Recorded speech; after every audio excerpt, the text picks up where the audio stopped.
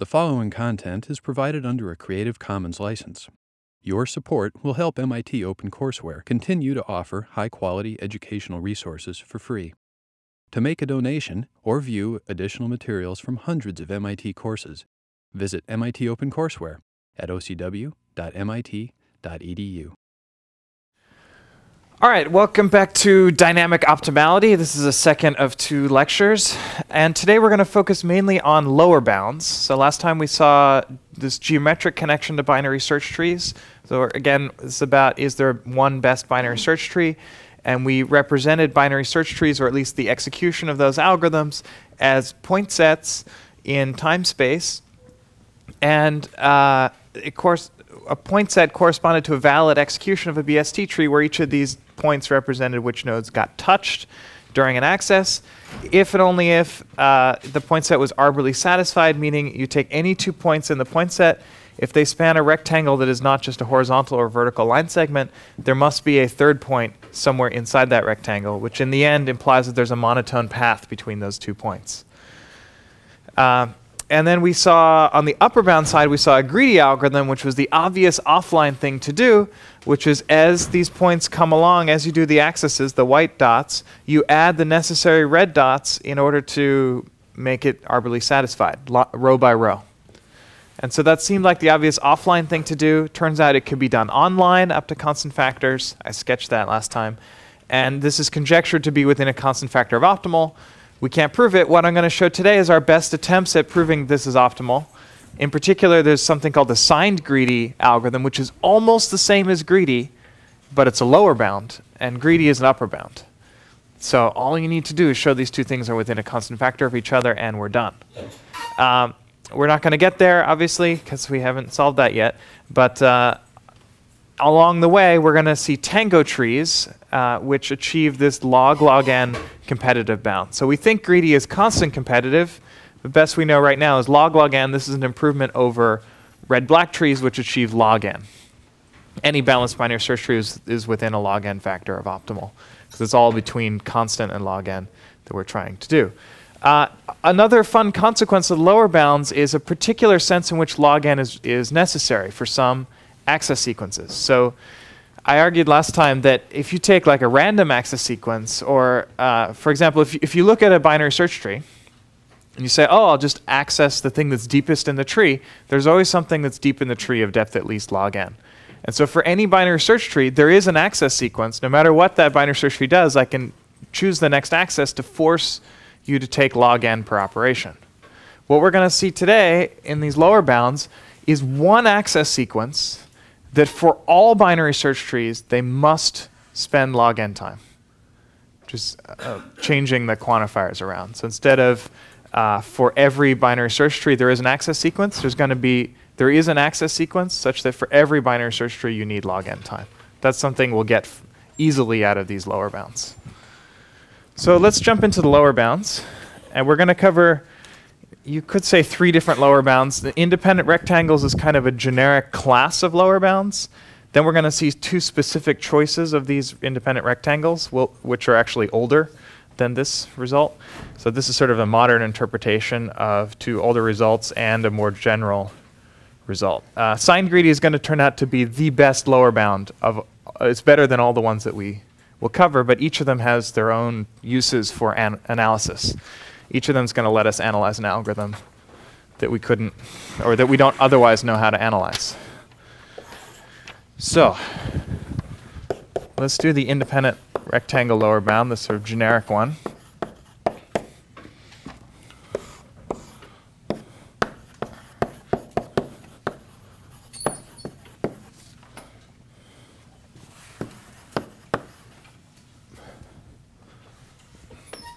So uh, these lower bounds are all going to refer to the original point set, the white dots, the accesses.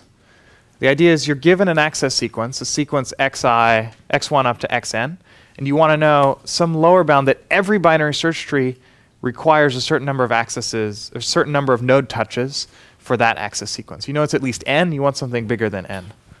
We've got to at least touch the nodes that are, that are being accessed. Um, drop this.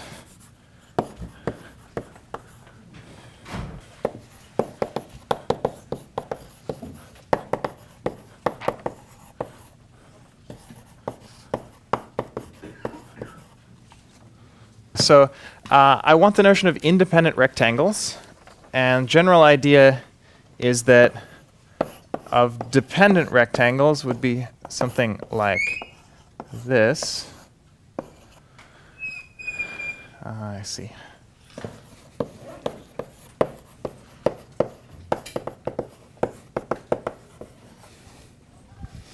Uh,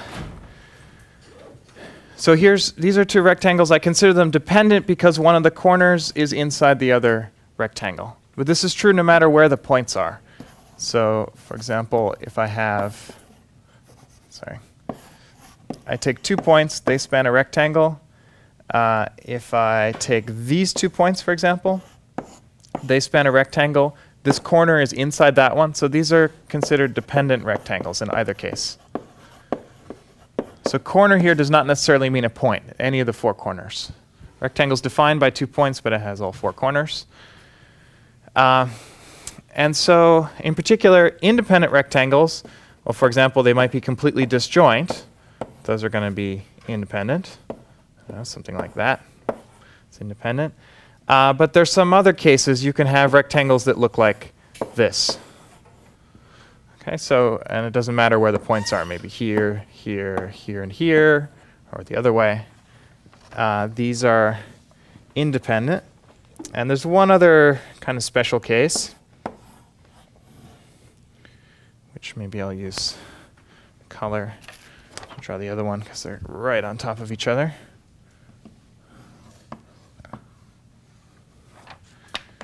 So I've got a point here, point here, and a point here. Okay, these are two, two rectangles defined on three points. So they both are use this point. Uh, and if you check, it does satisfy this condition. So no corner is strictly inside the other. Uh, but we also need that the rectangles are unsatisfied. So this is saying that uh, there's no other point even on the boundary of the rectangle. So this part says, okay, there's nothing strictly inside, but we also need that on the boundary there's no other points. So this is the only sort of situation other than reflections where you get, uh, get this working out as independent.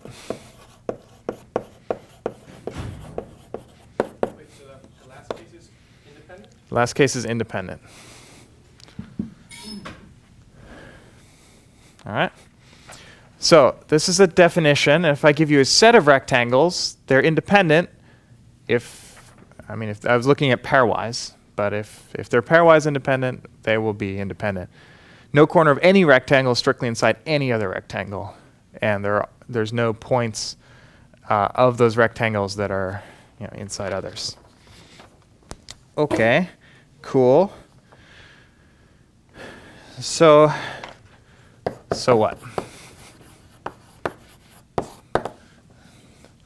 Lower bound says the optimal offline binary search tree, or the optimal way to add dots to satisfy your point set, is going to be at least the size of the input, meaning the number of initial points you have, plus half the maximum number of independent rectangles.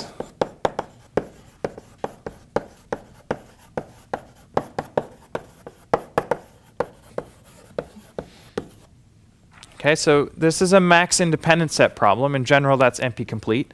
Turns out we'll be able to uh, at least approximate the number of independent rectangles within a constant factor by the end of class. That's going to be signed greedy.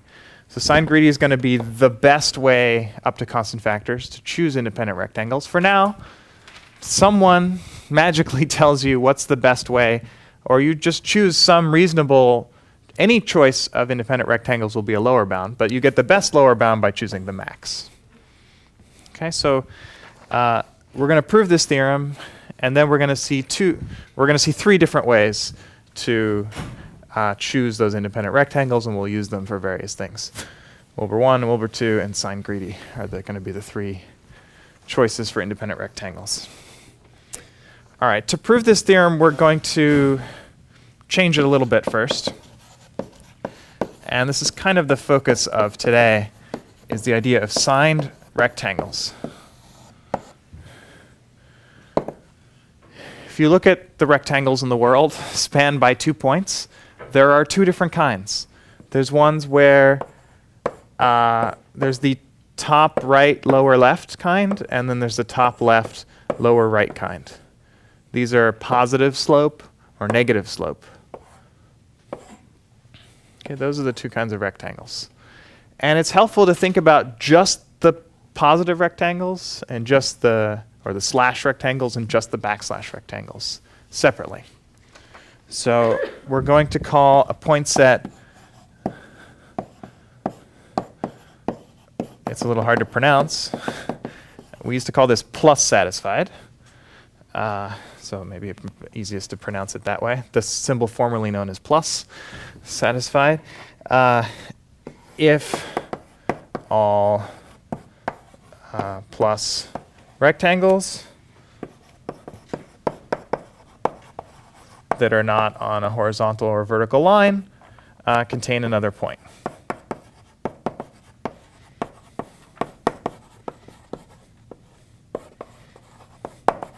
Okay, so a point set is arborally satisfied if and only if it is plus satisfied and minus satisfied.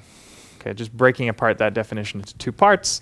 But now we're going to look at point sets that are just plus satisfied or point sets that are just minus satisfied. And then we can look at the optimal solution if you only care about plus rectangles. So this is the uh, smallest plus satisfied uh, point set containing all the access points, all the given points. Call that the input. Okay, opt was the smallest arborally satisfied. Opt plus is the, you just look at plus rectangles.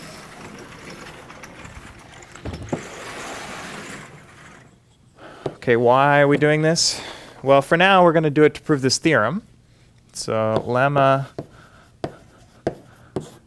which was what we're actually going to prove, is if you look at this opt plus thing, it's got to be at least the size of the input. Everything has to be at least has to at least contain the input plus uh, maximum number of independent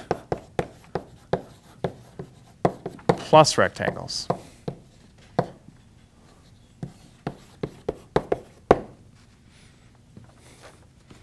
Okay, so this is what we're actually going to prove.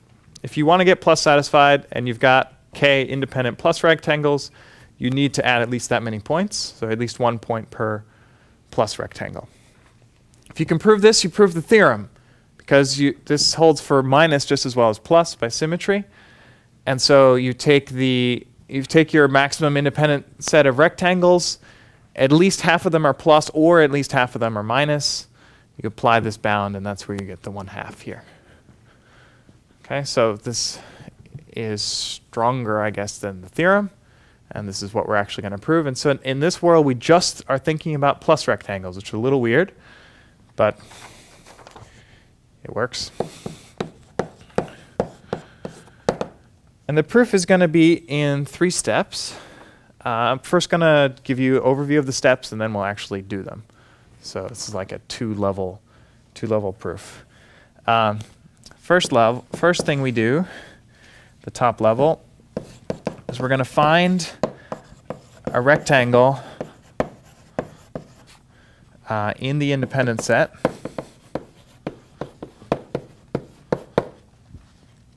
And we're going to find a vertical line that hits only that rectangle.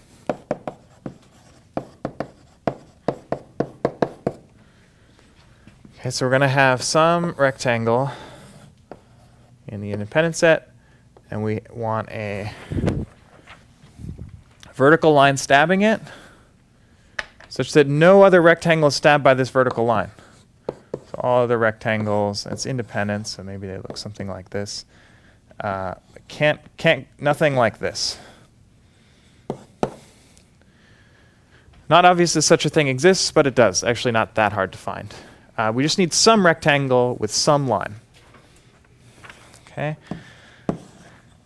Then, um, using that property, we're going to be able to find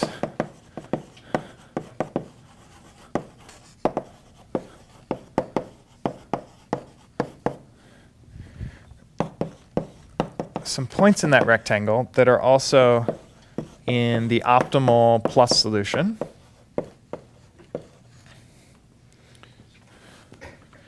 Uh, in the rectangle crossing the line.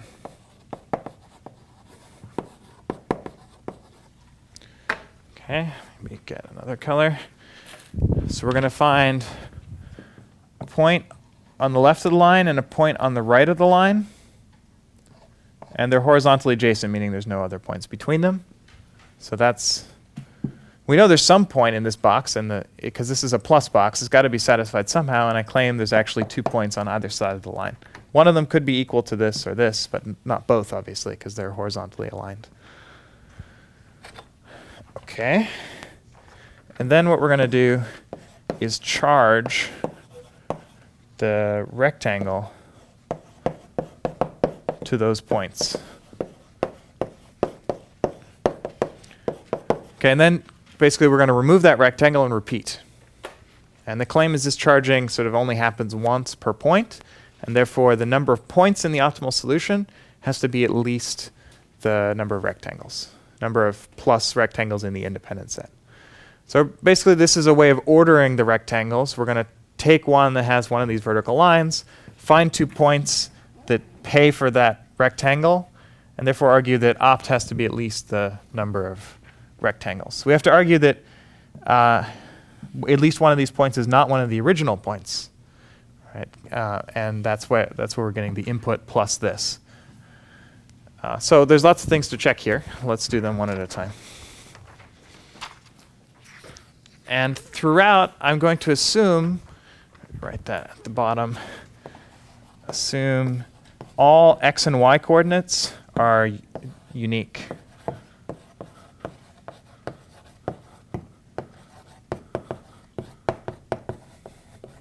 This is a, an idea I mentioned last time as well. If you have lots of accesses to the same key, imagine them being accesses to slightly different keys. Just skew them a little bit and it doesn't change any of the bounds much. Uh, I won't argue that here, but at, at the least think of this as just a simplifying assumption for to make the proofs cleaner. Okay, so how are we going to do step one? I need to find some rectangle and some vertical line that only stabs that rectangle. Uh, and the way we're going to do that is just take the widest rectangle,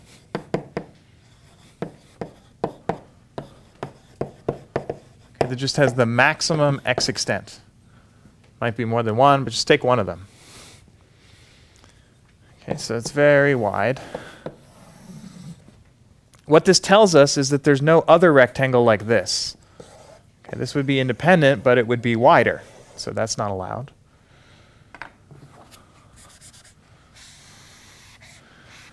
Now we have to think about all sorts of scenarios. So we've got a point here and a point here. Could still be that we have rectangles like this. They just can't go farther to the right. Could be we have rectangles that go like this. Just can't go too far to the left. They also can't, th the, these rectangles that are anchored in the lower left and these rectangles that are anchored in the upper right can't touch each other because then uh, one of them would be satisfied. Right, this one's going to have a point down here. This one's going to have a point here. Uh, I guess, yeah, let's see. How would it go? If they were touching,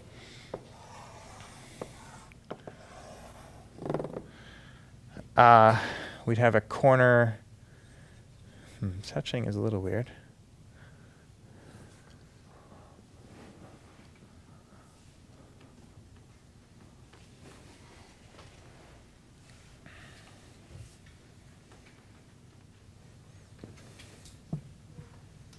Ah, I see.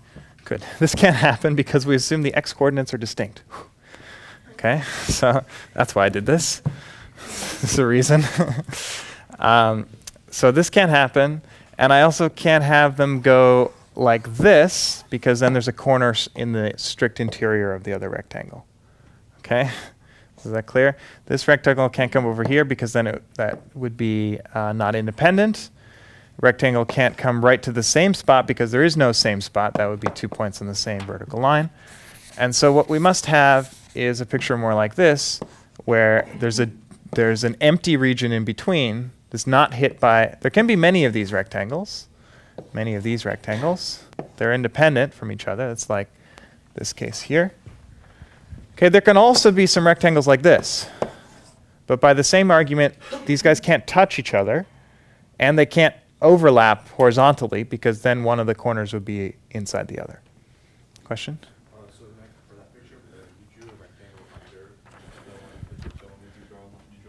This one or this one? Yeah, this one cannot happen. Or that uh, that's what we claim. Uh-huh, right. So that's uh, you're right. So we worry about uh, interesting. we worry about something like this.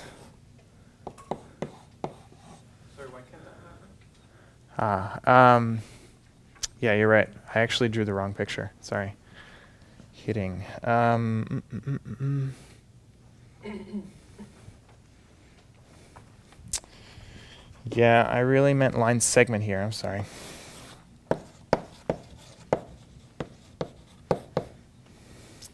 Poor choice of wording. So vertical line is actually just going to go the extent of the rectangle. Something like this. Sorry. We can't forbid rectangles like this. Uh, what we can forbid are rectangles like this that also try to cross that segment. Okay, uh, we'll see why this is enough in a moment. Sorry about that.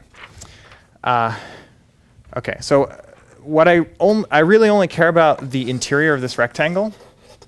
I'm trying to get a vertical line that only stabs this rectangle, nothing else, I inside the rectangle. Sorry, poor wording. I don't care about these guys outside because I can't say anything about them. They could be all over the place in an independent set claim that with it, I mean, relative to what hits this rectangle, there's stuff on the left, there's stuff on the right. There are these guys. There can also be things like this. Okay, but still remaining are these regions which are not hit by any rectangles. And that's because what I was saying, these guys can't touch each other because then there'd be equal x coordinates. They can't overlap because then one of them would not be independent from the other. So I get uh, my vertical lines. I just need one, but it could be any of these. In general, if you take all, for example, if you take all of these uh, lower left anchored rectangles and take just to the right of the rightmost one, that will be a valid choice for your line. Because you, you can argue none of these can overlap it. Okay, so that's step one. We just take a widest rectangle. The one thing we needed to forbid was some, something going like this all the way across. Okay. Step two. Uh, step two is actually pretty easy. Once you've identified this red line, you basically, in, inside the rectangle, you know there are some points.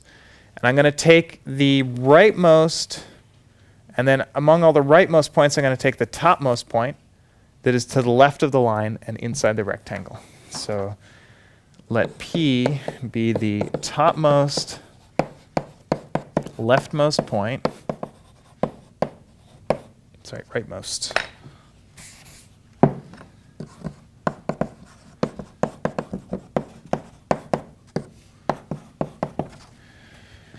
Uh, that is both in the rectangle and left of the line. So this is going to be, let me erase this one, make for a little bit more room. Uh, so I'm looking at all of this region to the left of the line in the rectangle, I want to take uh, the rightmost and then topmost point, something like this. Uh, how do I know such a point exists? Because this point is such a point. And this point is to the left of the line. So, I mean, if there's nothing else in here, that is a valid choice. But in general, we go to the right as much as possible, then we go up as much as possible. So that's a point which we will call P. rectangle? Like, what- so it's Uh, it could be on the border, it could be interior, we don't know. when you say top, so one you said topmost, what is your topmost? Topmost. Topmost means uh, a maximum y coordinate. Oh, okay, got it. Sorry. So it could be up here, Sorry, we don't, we don't know, yeah. First we go rightmost. Then we, among all the things in that column, we go to the topmost one. So it might be on the top, it might not be. Yeah. These are points, sorry, this is a point uh, in opt plus. Okay, and then Q is going to be a similar thing. It's going to be the bottommost, leftmost point in opt plus uh, that is in the rectangle and right of the line. Not totally symmetric though. We're also going to say and not below P. Okay, so now we're looking at this upper region here. Among all the things that are not below P, should have drawn this more horizontal. Uh, and to the right of the red line, so that's up to here, I guess. I want to take the leftmost column that has any points in it, and then among those, take the bottommost point in the column. I claim that's actually going to be on this line. Okay, first thing to check is that such a point exists. Such a point exists because, in particular, this is such a point. It is to the right of the line, it's above the blue line, right of the red line, in the rectangle. Okay, but I claim if we take the leftmost, bottommost one, then they must actually be aligned. Why? Because if it was somewhere else, like up here, or like this point, then I claim that is an unsatisfied box. Okay, let me uh, draw that picture. Make it a little clearer. So, something like this. So we've got our red line, and we've got uh, this picture. This is P, and then we've got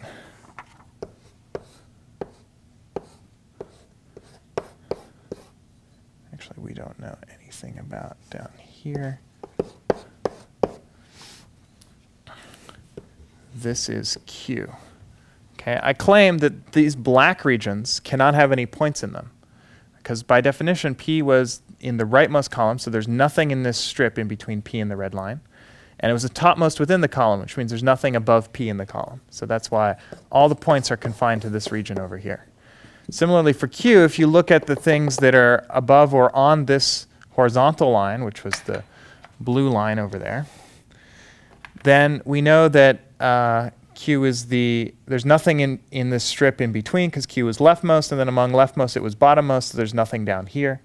So that means if these guys are not horizontally aligned, there is an unsatisfied box here. Contradiction. It's a plus box. So in opt plus, there's got to be another point, which is a contradiction. So in fact, P and Q must be horizontally aligned. So that was step two. Finally, we get to step three.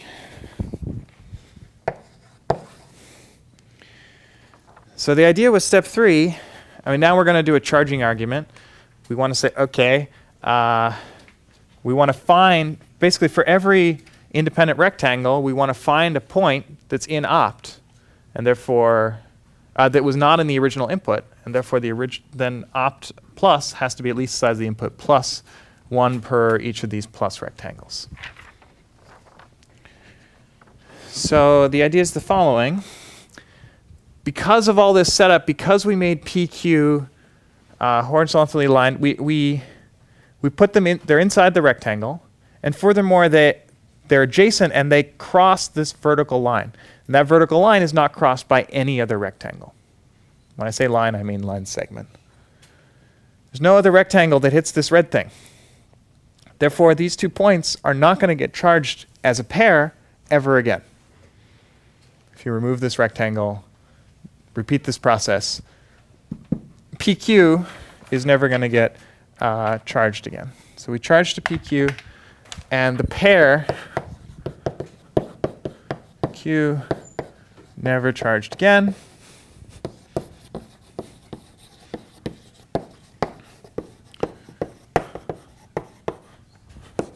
Never be charged by another rectangle uh, because no rectangle hits uh, well, hits the red thing.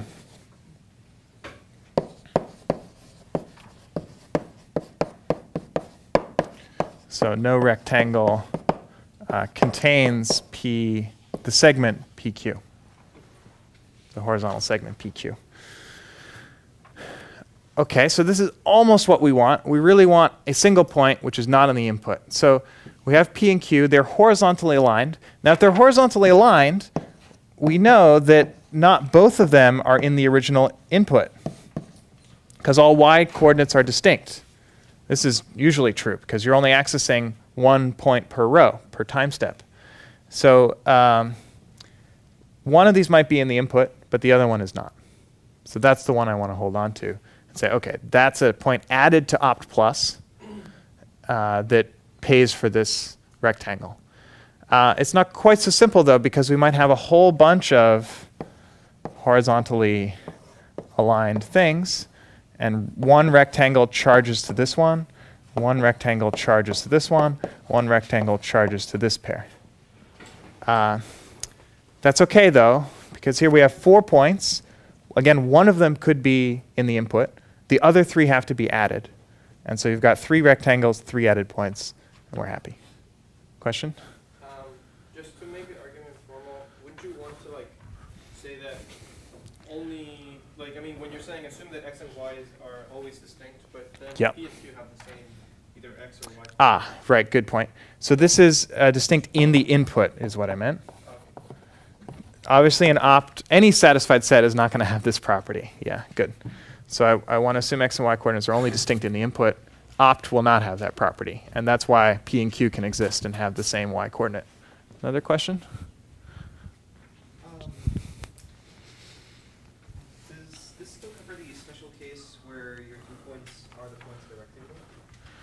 Okay, so uh, question is, can P and Q be the points of the rectangle? One of them can be. Like P could be here, and then another point is over here.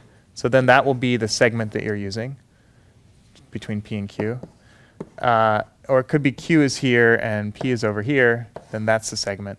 You can't have them both equal because P and Q have to be horizontally aligned. And also because there's got to be another point in there. Yeah, so that should work. You have to check that this, this boundary case is still okay. But the claim is no other rectangle, uh, no other rectangle touches this red line even on the endpoint, and therefore no other rectangle will wholly contain P and Q.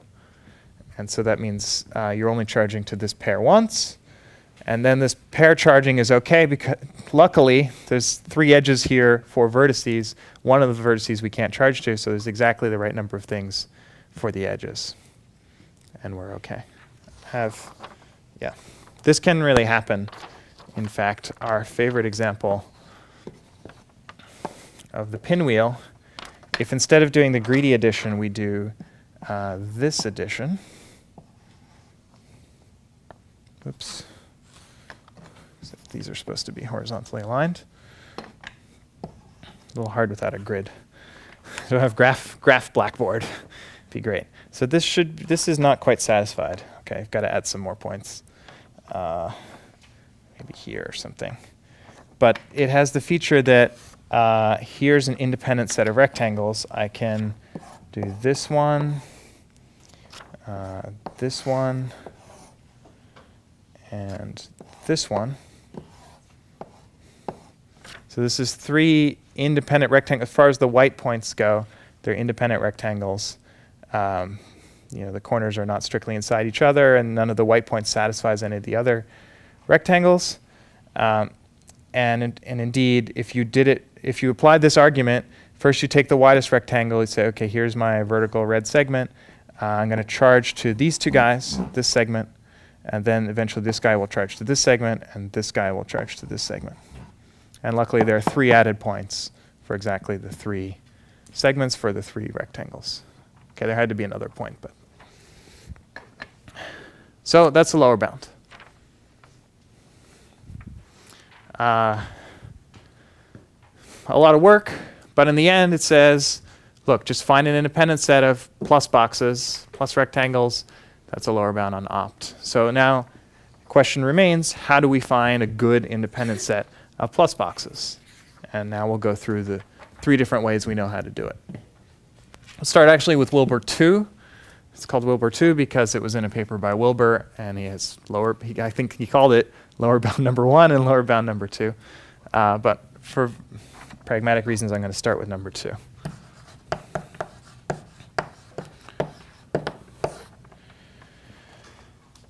It's from 1989. So it's actually an old paper, and it was sort of lost for a long time. I don't think Wilber wrote any other papers. Uh, and it was in SICOMP, a big journal.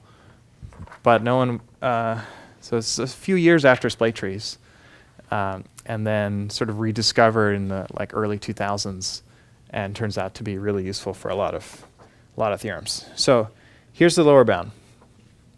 Again, we're looking at the input point set, no added points, just the original points. Look at every point, and look at all the points that you can see from this point downward. What does see mean? I'm interested in points that when I, below P, that when I draw the rectangle contain no other points.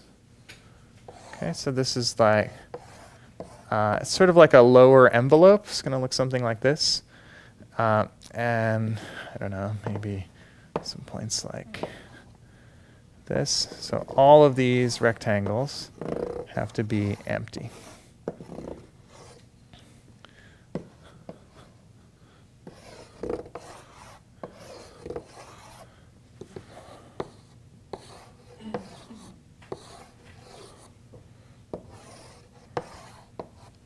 Okay, so the, these are the uh, downward visible points.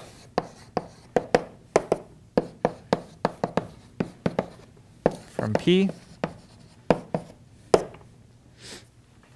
Now, among these points, you can sort them by y coordinate. And I want to see how many times do they cross this vertical line. So if I order them by y coordinate. So let me add some red. So I, I start here, maybe I go to here. Then uh, next one is over here, so that's a cross. Uh, then I go over here, then I cross, then I go here, then I cross, go here, here, cross. So if I visit them in order, I want to know how many times do I cross this vertical line. This is what we call, you think of this, so this is the past of P, right? All the axes before P. Think of this as how many times you alternate between uh, accessing on the left of the line and accessing on the right of the line. So count number of alternations. Uh, left or right of P. And again, if we assume that no key is ever accessed more than once, then there'll always be left or right, never exactly on. Uh, and then I want to sum over all points. And I claim this is a lower bound. Okay, why is it a lower bound? Um, essentially, I take each of these red lines that cross the P vertical line, and I turn them into a box. So there's one there, one there, one there, and one there. Claim if I do this for all P, none of those, all those boxes will be independent. All those rectangles will be independent from each other. I won't prove that formally here, but you can check it. Uh, so it's obvious for one P, because each of these has a different vertical span. If you do it for all P, all the points P, uh, these won't conflict.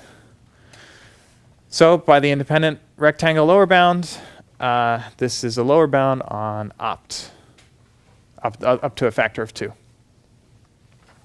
Okay, so what? Um, Wilber 2 is quite interesting. For a long time, we've conjectured that it is the right answer. So conjecture. I know it's a weird lower bound to even think of. It's a very hard paper to read. Uh, without the geometric view, it's, it's even harder to imagine the definition of this bound. But uh, so it's sort of an algorithm. It's a way to assign boxes. Gives you a lower bound. It's a little weird. Uh, we conjecture that it's proportional to the optimal solution. We can't prove it. We've tried many times. It's a pain to work with. Uh, but it is what it is. There's one theorem that uses it, so I want to tell you about that theorem, but I don't want to go into it in too much detail. It's a neat theorem.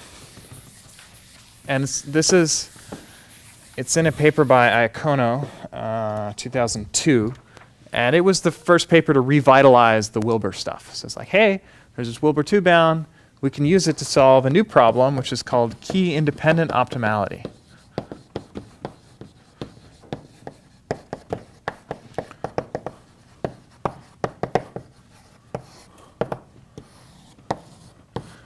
briefly, the idea with key, key independent optimality is suppose you've heard about dynamic optimality, you know it's really cool because splay trees and whatnot seem to really adapt to whatever your inputs are.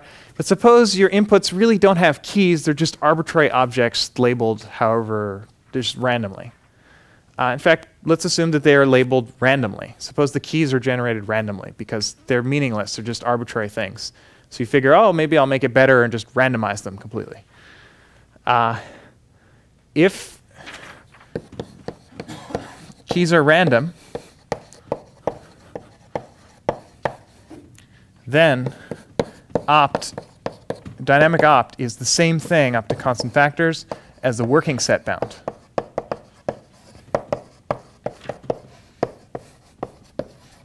That's the theorem. So this is cool because it means splay trees are actually optimal in this setting where keys are random. Uh, so this is, you know, in expectation over the, the randomized keys. And the way this theorem is proved is basically you, you take, so what this is saying is if we take a point set, arbitrary point set, but then we re-randomize the x coordinates, leave the y coordinates as they are, then you can compute how Wilber 2 behaves. Right? Because now you have a bunch of points and it's you're randomly shifting their x coordinate. So it's like if you're randomly bouncing around in X uh, and you're interested in this envelope on the left and the right, you want to know basically how many times does, uh, let's see, I guess since I last accessed P, which is here, we didn't do that here, but uh, in the working set bound, that's part of the deal. Um, how many, uh, let's see, it's sort of, if you look on the left side, it's like how many times does the max change?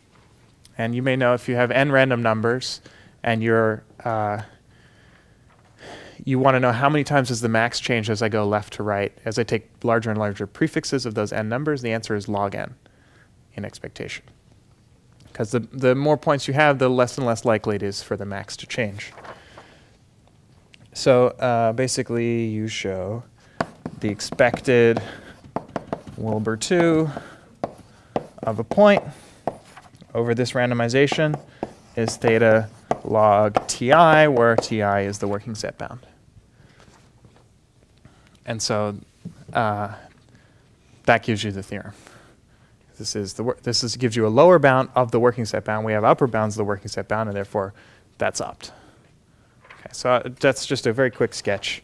If you're, if you're interested, check out the paper. Uh, that's unfortunately all we know what to do with Wilber 2. But there's this other bound, Wilber 1, which seems less good, yet we can do a lot more with it. So let me go to that.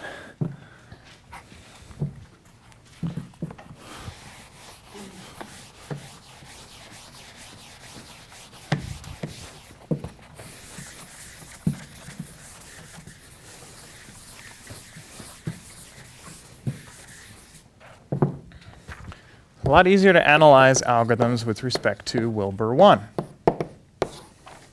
What's Wilber 1? we're going to fix something called a lower bound tree.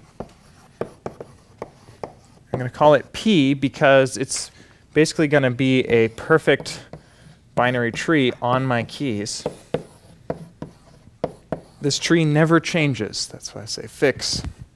It is not the binary search tree you're looking for. It is not the binary search tree that you're interested in. It's just a thing to think about. Okay? Now, for each node of that tree, like let's look at this node. Give the node a name, y. So here's y. There's the left subtree of y, and there's the right subtree of y. Okay, these are a bunch of keys. There's keys that are to the left of y, there's keys to the right of y. There's keys outside the subtree, we're going to ignore those. I want to look at the accesses to these keys and access to, to these keys and see how many times do I switch between left and right. Okay, so count number of alternations. So very similar in spirit to Wilber 2. It's just relative to this weird tree, which is kind of arbitrary. Uh, let's see. In the access sequence, which is x1 up to xn, between uh, left and right subtrees of y. So we're going to ignore accesses to y itself. We're going to ignore accesses to keys outside of y. Just look at how many times do I switch between x and y. Okay, that's the lower bound. That's the claim.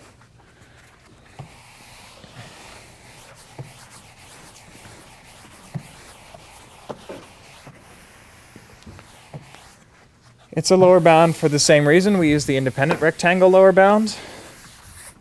And the claim is if you look at these alternations, draw the corresponding rectangles. Basically, uh, yeah.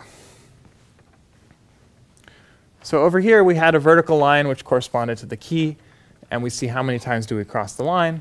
Basically the same thing over here. Uh, so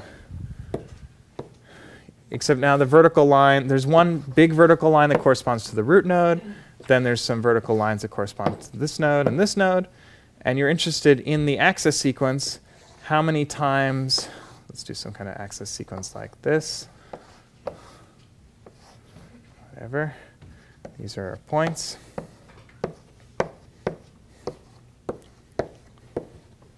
And you just look at what is the, what lines are you crossing? So like this crosses the big line, so that's going to be one alternation between left and right here. Uh, here's another alternation between left and right. Here's another alternation between left and right. Here's another alternation between left and right. Uh, and one more. Okay, so for the big line, for the root node, that's how many times you cross between left and right relative to the root. Um, then for the left subtree of the root, there's one crossing here. There's one crossing here one crossing here.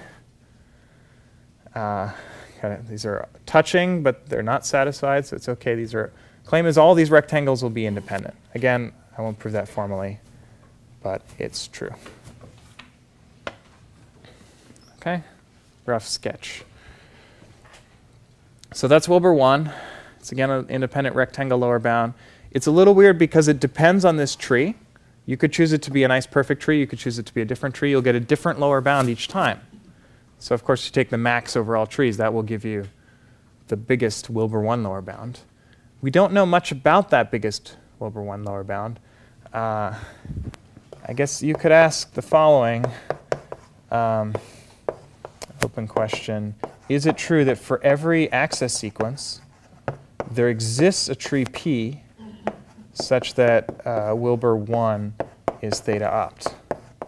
Or is theta Wilber 2 or something. Wilber 2 is, is a single quantity. You compute it, it gives you a bound. Wilber 1, it depends on this p. Maybe if you choose the best p for your sequence, you get the right answer.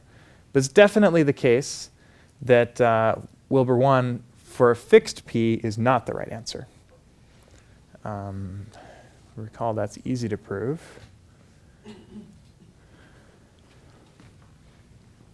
Uh, well, maybe we'll come back to that.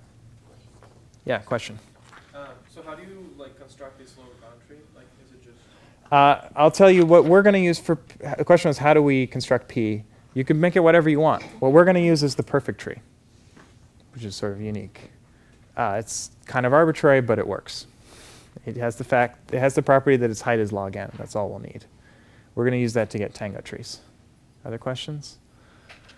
All right, let's, let me briefly mention a fun access sequence.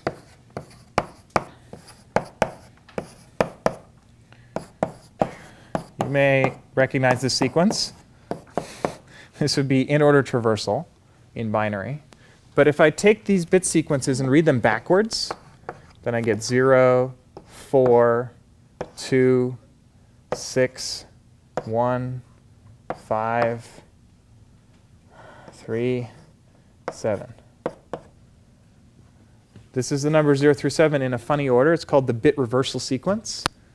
If you access 0, 4, 2, 6, 1, 5, 3, 7 in a perfect binary tree, it maximizes Wilber 1. So in order traversal, 0, 1, 2, 3, 4, 5. Whoops, no, 0, 6. All right, ignore 7. There's no 7 in this tree. Um, I do 0, 4. If you look at the root, I alternate left, right, left, right, left, right. Because the high order bit is switching every time. And so whether I go to the left of the tree here or the right of the tree is switching every time. And also if you look in any subtree, like when I'm accessing things within the subtree of 1, it alternates 0, 2. Okay, it's too small a tree to really see that happening, but it's true. And so if you do this for n bits, you get a 2 to the a sequence on, or k bits, n equals 2 to the k roughly. Uh, and Wilber, two, Wilber 1, the lower bound, is log n per guy. Because the number of alternation, every, every access alternates. So if you look at a subtree, whatever the size of that subtree is, that's how many alternations there are.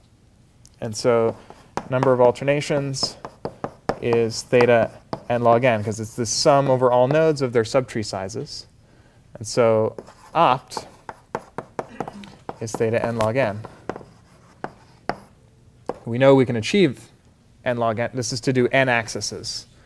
Um, we know we can achieve n log n with a red-black tree or whatever, but there's actually a lower bound of n log n, meaning all binary search trees, if you're, if you're given this access sequence, doesn't matter what you're doing, you have to pay and log in, which is kind of cool.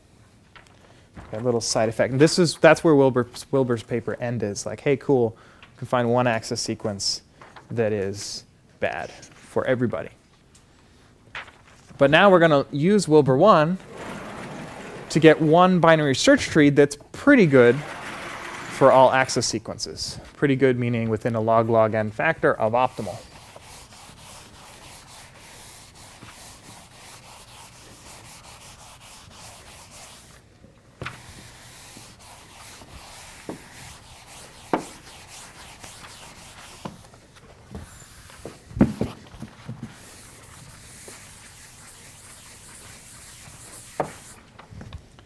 And this is tango trees.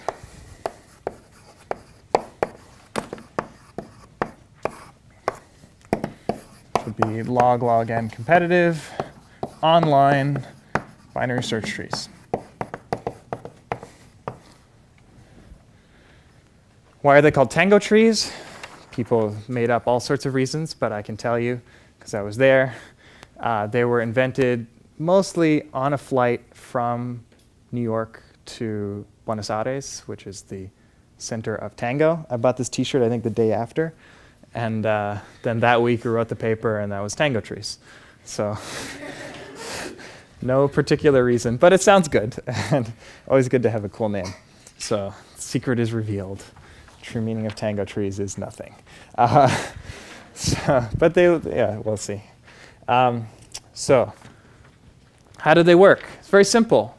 Basically, we take Wilber 1 and we simulate it. So uh, let me be more precise. There's one key idea, which is to look at the preferred child of a node. Uh, I'm going to say the preferred child is left. Let's see, node y and p. It's left if uh, we accessed uh, the left some node in the left subtree of y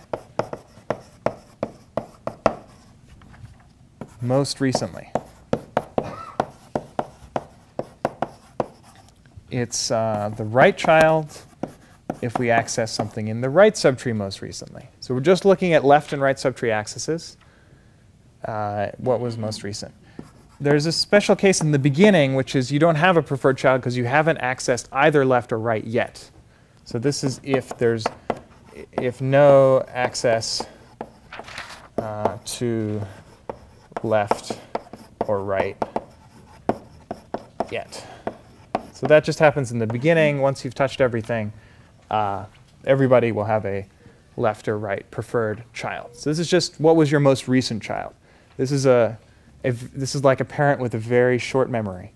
Just whichever child I most recently talked to, that is my preferred child at the moment. Okay, it's kind of like I don't know when you're going to.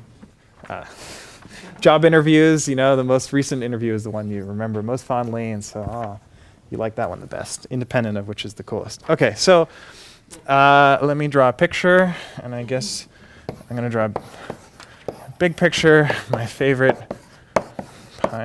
perfectly balanced binary search tree. The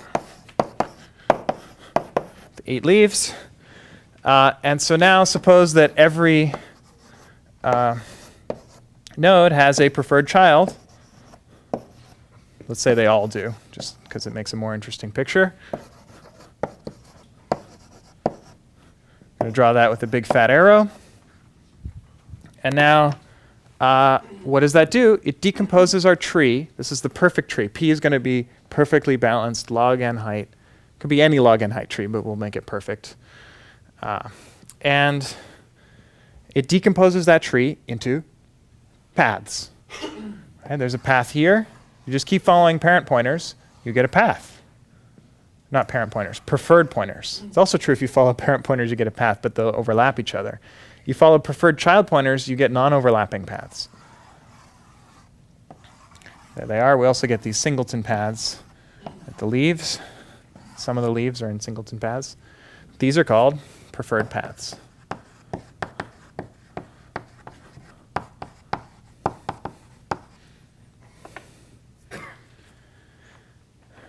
Why do I care? Because so this tells me uh, the most recently accessed element was, was somebody on this path. Right? I don't quite know who. Could have been this one. And that would say, okay, this is the most recent direction we went for all of them. Let's say it's that one. Now suppose I access this node. What does that tell me? Well, if I, if I most recently accessed left here, and now I'm accessing the right, if you look at this node, the Wilber 1 bound goes up by 1 because I just accessed left, now I accessed right. Also, if I access this node, this guy, his Wilber 1 bound goes up by 1 because now he's going to the right, whereas last time he went to the left. Also, this node previously went to the right and went to the left. So uh, I get a Wilber 1 went up because of this edge, and it went up because of this edge. In general, following non-preferred edges, I can pay for because Wilber 1 goes up by 1 every time I use a non-preferred edge. This is another way to state the Wilber 1 bound. This is the cool thing.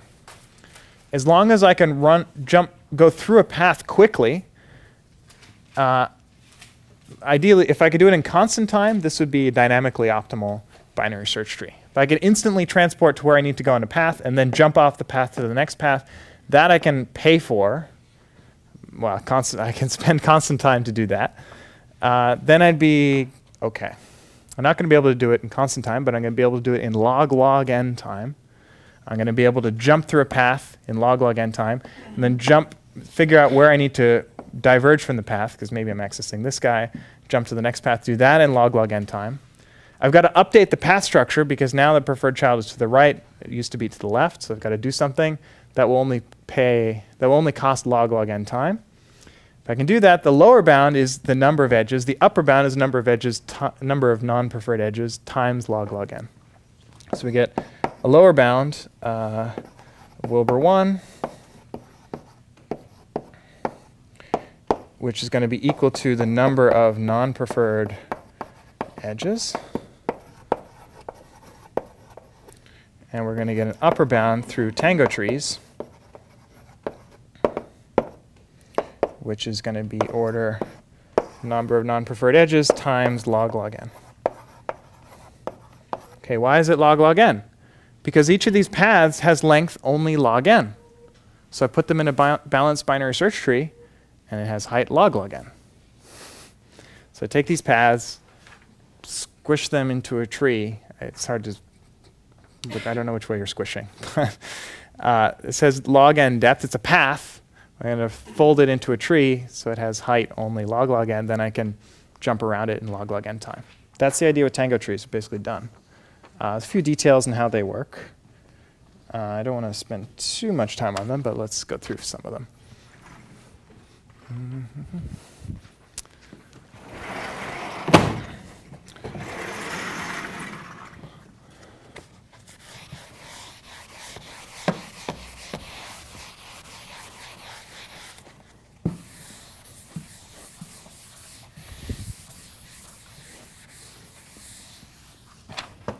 So,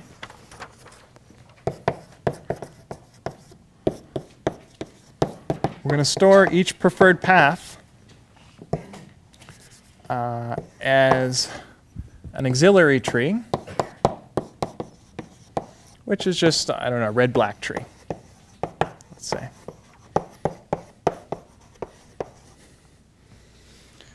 What is the red-black tree sorted by? I don't have a choice whatever I do has to be a binary search tree among the original keys.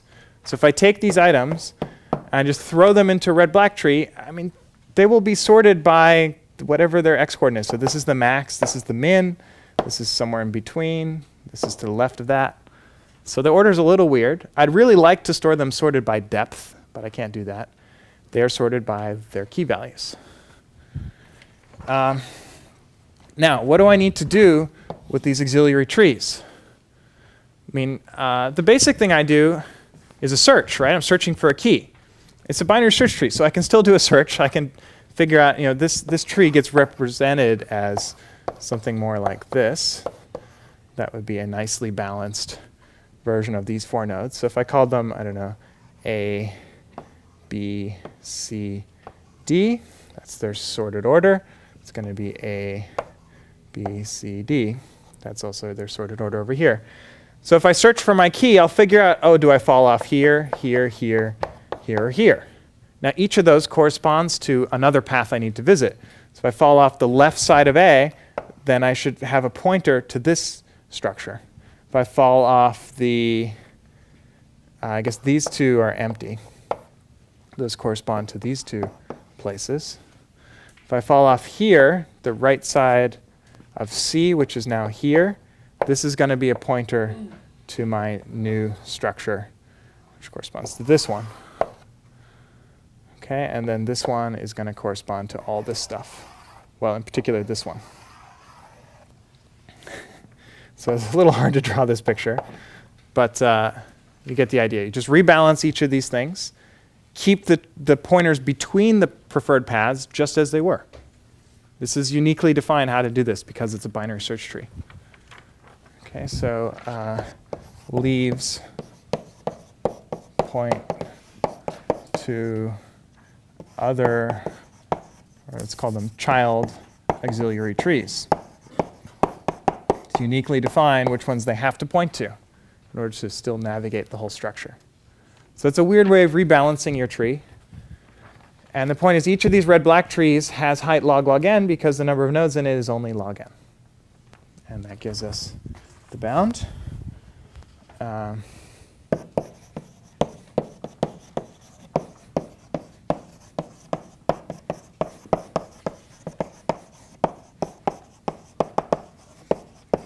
now, key thing to think about is what happens when you change uh, I said I have to be able to achieve number of non-preferred edges times log log n.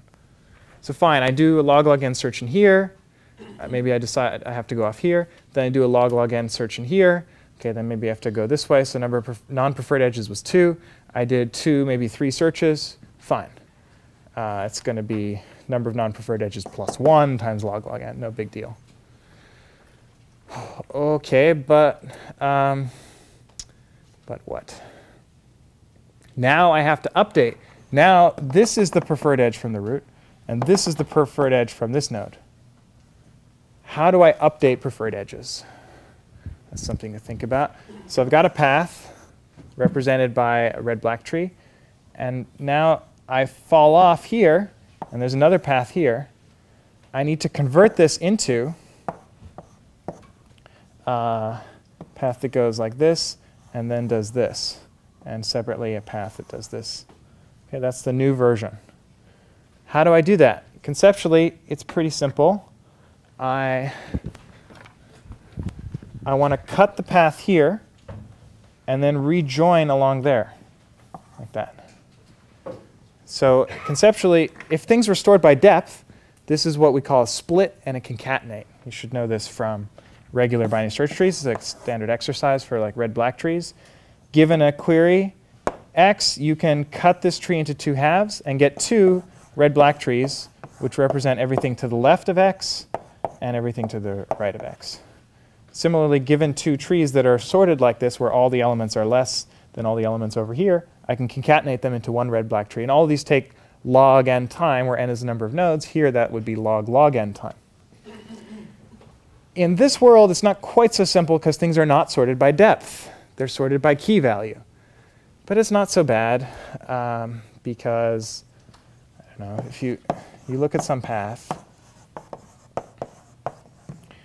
and you want to say, okay, um, I want everything that's below, uh, I don't know, this key value or something, then that's the same as saying, well, take everything that is within this interval of keys. So it's strictly between here and here. Let me draw this slightly.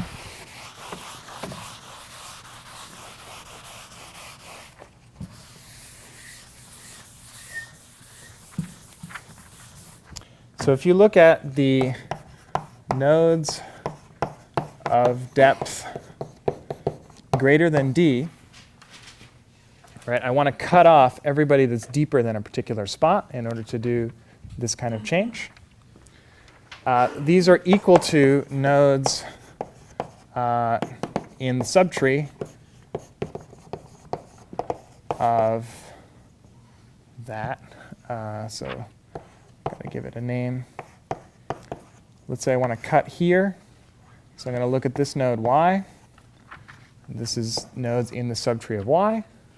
All of the nodes that are below y are obviously going to have smaller depth in that path. This is nodes in a path. And uh, nodes in a subtree are equal to uh, nodes with keys uh, in the min of that subtree to the max of that subtree. It's an interval. So what do I do? I split at min of y. I split at max of y. That gives me the interval. So here's the picture. I have a tree. I want to cut out this interval of nodes. This is like range queries kind of in 1D. So I split here, I split here. What I will have are the things I care about, the things to the left of it, and the things to the right of it. What I wanted was this and everything else. How do I do that? I concatenate, maybe I should, uh, this is you know, y. This is uh, in the interval min of y to max of y. So I wanted those guys, those are the nodes that are deeper than D. I also want the nodes altogether that are less deep than D.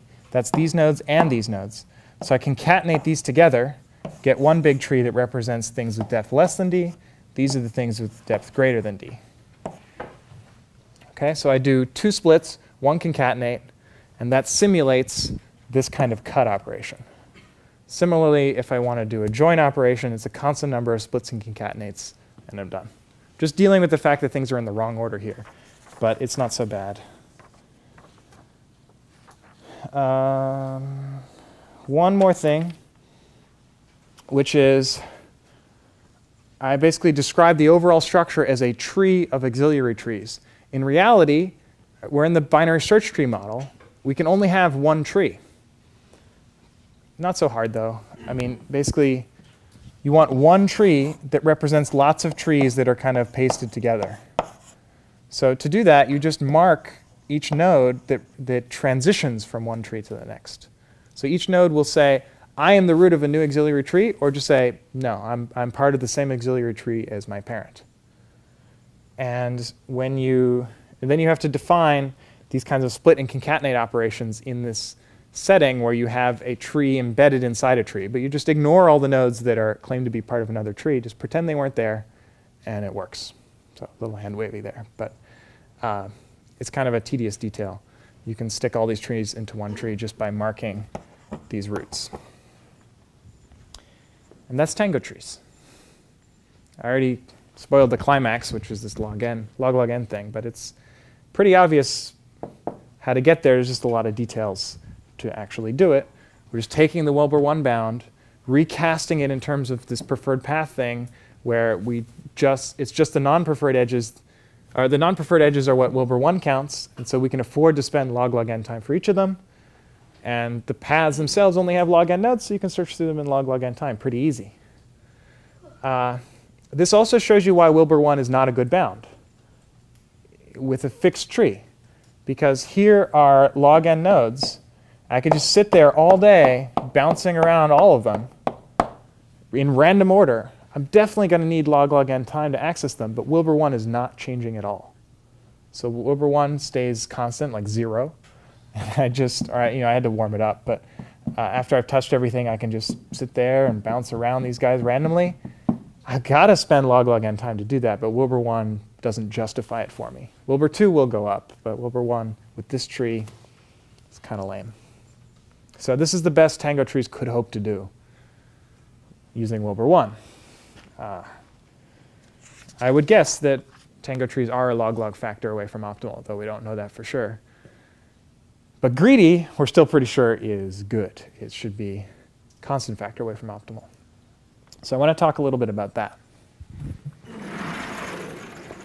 There's one one thing on this outline we haven't talked about. We did independent rectangles. We did Wilber 1 and 2. We saw applications of them, in particular tango trees. One thing we haven't done is signed greedy. So let's do signed greedy. What's still left here is uh, we have two ways to choose rectangles, independent rectangles. They're different.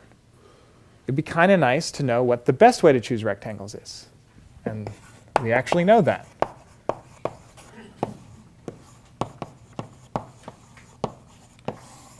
Sign greedy. So for there's two kinds of sign greedy. There's the plus sign greedy and there's the minus sign greedy. Okay, how does plus greedy work? It's the same as greedy, you just only look at plus rectangles. Okay, remember plus rectangles and minus rectangles? So let's look at our favorite example here. With greedy, I would sweep up, and every rectangle that was unsatisfied, I would satisfy it. Now I'm going to ignore minus rectangles, only look at plus rectangles. So I see this rectangle, and I say, oh, I don't care because that's a minus rectangle. Then I see this one and this one. Okay, I say, oh, those are plus rectangles. So I'm going to add a point here, I'm going to add a point here. Then I go uh, up to here. I see this rectangle, which is a plus rectangle. That's bad. So I've got to add a point. I see these, uh, this minus rectangle I don't care about. Okay, this is plus greedy. It does not satisfy the set, right? This rectangle never got satisfied. But it plus satisfies the set. If I do plus greedy, it will be plus satisfied. Uh, there's every rectangle you draw here, if it's a plus rectangle, it's got another point in it. What's kind of nice also is you, if you actually draw the rectangles you were satisfying, so here was one, uh, maybe I'll use another color. There was one rectangle here there was one rectangle here, uh, and there was one rectangle here. Hmm, That's a little awkward because they're not on the original points. So I can change them a little bit, maybe move this one down to here, and move this one over to here. You could say that those rectangles came from those points. Then this is a set of independent rectangles on the original points. Okay, maybe not totally obvious, but plus greedy uh, will always give you, or gives an independent set of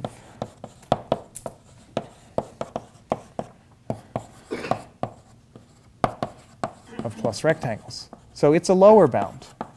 It's not an upper bound because it's not satisfying the point set, but it's a lower bound. I claim it's a very good lower bound.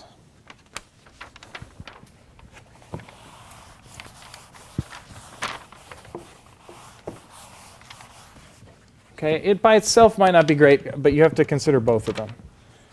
So theorem is if I take the max of plus greedy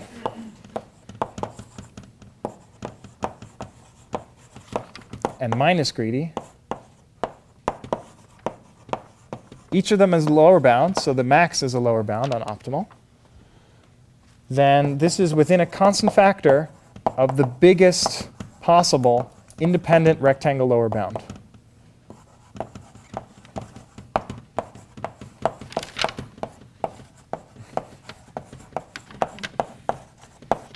And so this is the way you should choose independent rectangles. Run plus greedy, run minus greedy, take the best of the two. That will always be within a constant factor of the best independent set of rectangles. Factors like 4 or something in the worst case. So let me prove this to you. It's kind of a weird argument. Uh, I'm going to define a new quantity. Uh, let's call this opt x, I guess. It's sort of like if you consider plus rectangles separately from minus rectangles, which is what we're doing.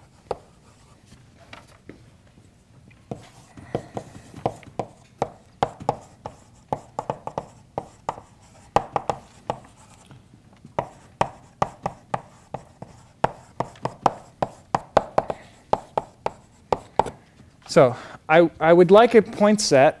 First, I'd like a plus satisfying point set. And then I'd also like a minus, minus satisfying point set. And then I take their union, and I say the cost of that of the overall of that pair of plus satisfying and minus satisfying is the size of the union. So I get a little I get a bonus point if they happen to overlap. Not a big deal, just a factor of two.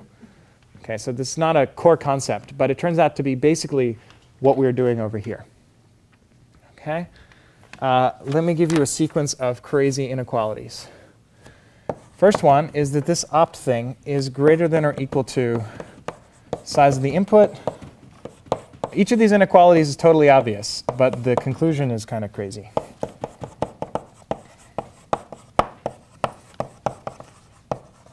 Okay, the independent rectangle lower bound, which we proved, says that if you look at plus satisfying things, that's going to be at least size of the input plus the max number of independent rectangles. If you look at the minus satisfying things, that's also going to be at least size of the input plus maximum number of minus, minus independent rectangles. So we already proved this, that if you look at this union, it's going to be at least size of the input plus half the overall max.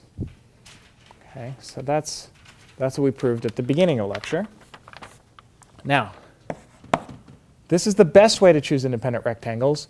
Greedy, this, this kind of sign greedy, which is the max of the two signs, is a way to find independent rectangles. So it's only going to be worse. It's going to be smaller. So we can say uh, is greater than or equal to half the max of plus greedy and minus greedy. Right? This was the max. So this is another way to do it, so it must be smaller. Okay. Now, greedy greedy computes a, satis- a plus satisfying assignment. So I could say, well, if you looked at the optimal plus satisfying assignment, this is something we defined at the beginning of lecture, and the optimal minus satisfying assignment, that's only going to be smaller than greedy because greedy is an algorithm for solving opt plus. It's uh, can, can't be better than the optimum. Okay, greedy again has to be bigger than the optimum. uh, good. Now I just want to turn this max into a plus. So this, because uh, the max is always at least the average. So if I take the average, which turns it into one quarter, opt plus, plus opt minus. Okay, then that holds to turn the max into a plus. If I look at the optimal plus satisfying plus the optimal minus satisfying, that's only going to be bigger than this thing. Because this can only save like a factor of 2 or whatever over just adding them up. But I, I don't even need the factor of 2 thing. I just need uh, that if you add them up, that's only going to be worse than just counting them as the union. So we get what I call a sandwich. On the one side, we have opt of opt x, and the other side, we have a quarter opt x. I really don't care about opt x personally. I mean, it's kind of interesting to see that it's here. But the point is, these are within a constant factor of each other. Therefore, all of these things in between are within a constant factor of each other. So in particular, this thing, max of the two greedies, is within a constant factor of, of this thing. This is the independent rectangle lower bound, the best one. It also tells you that optx is basically what we're computing here. So this is weird. I'm going to draw one more picture, which is greedy versus signed greedy. Remember greedy from last lecture? Greedy says, look, I'm going to fix plus boxes, plus rectangles, and I'm going to fix minus rectangles. It does them both at the same time. Signed greedy says, look, I'm going to do the plus rectangles separately, and then I'm going to do the minus rectangles separately, and then add them up, or take the union, or take the max, doesn't matter, constant factor. Okay, just add them separately. This one is an upper bound. It is a binary search tree. This thing is a lower bound. All binary search trees must take at least this. Are they equal up to constant factors? We don't know. That's the big question. They look almost identical. But what greedy has to deal with is sort of the interrelations. When I fix some plus rectangles, I might get new minus rectangles that I have to fix with greedy. Signed greedy doesn't have to deal with that. It's just the plus rectangles. They might make more plus rectangles, but that's all I have to deal with. It doesn't deal with the interaction between plus and minus rectangles. Seems like the interaction kind of fades away as a geometric series, and therefore these things are the same up to constant factors but we have no way to prove that. Could be the interaction blows you, blows you out of the water somehow. That's the best we know for dynamic optimality. Um, maybe next time I teach this class, we'll have a final answer and it'll be constant, but that's where we are today.